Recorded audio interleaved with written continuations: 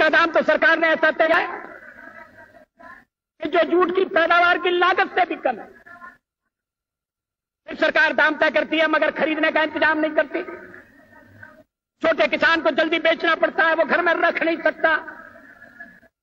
पौने पौने मूल्य पर बेचता है, शोषण का शिकार होता है, इसलिए किसान बिगड़ रहे हैं। केवल महाराष्ट्र में नहीं, कर्नाटक में। आंध्र में, मध्य प्रदेश में, गुजरात में किसान न्याय पाने के लिए लड़ रहे हैं।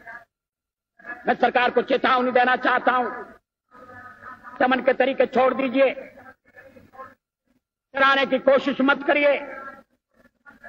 किसान डरने वाला नहीं है। हम किसानों के आंदोलन का दलीय राजनीति के लिए उपयोग करना नहीं चाहते।